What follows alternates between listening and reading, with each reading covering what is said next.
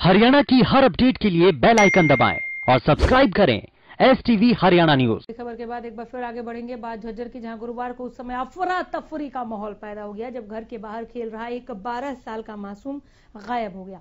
परिजनों ने मासूम का अपहरण किए जाने की बात कही है।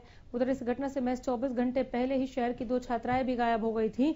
ये छात्राएँ ट्यूशन पढ़ने के लिए घर से गई थी, लेकिन देर शाम वापस नहीं लौटी। गुरुवार को जैसे ही 12 साल के मासूम के गायब होने की सूचना शहर के लोगों को मिली।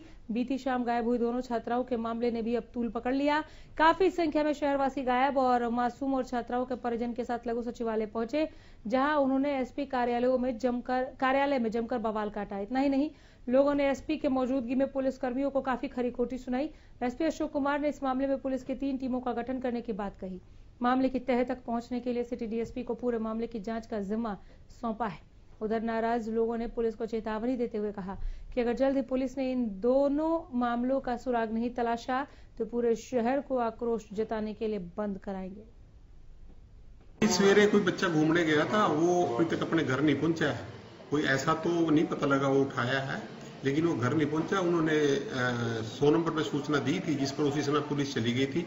और अभी उनसे कहा है कि एक एप्लीकेशन दो दरखास्त उसमें दे दिया उसमें सीआईए इंस्पेक्टर और सीआईए इंस्पेक्टर और सीआईए भादरगढ़ कोई भी टीम को लगाया जा रहा है और डीएसपी हेडक्वार्टर उसकी देखरेख की तफ्तीश कर रहे हैं। लड़कियाँ को जो मामला था इसमें दो लड़कियाँ ट्यूशन पे गई थी और ट्यूशन को और टीचर का एक लड़की है घर तो बिल्कुल आमने सामने है। अभी उन्होंने बताया कि वो किसी लड़के से चैट करती थी। उस चैट के ऊपर उस लड़के ने हाथ में भी उसका नाम अपना लिखा रखा है। आपके सामने ही उन्होंने ये चीज़ें सब दिखाई हैं।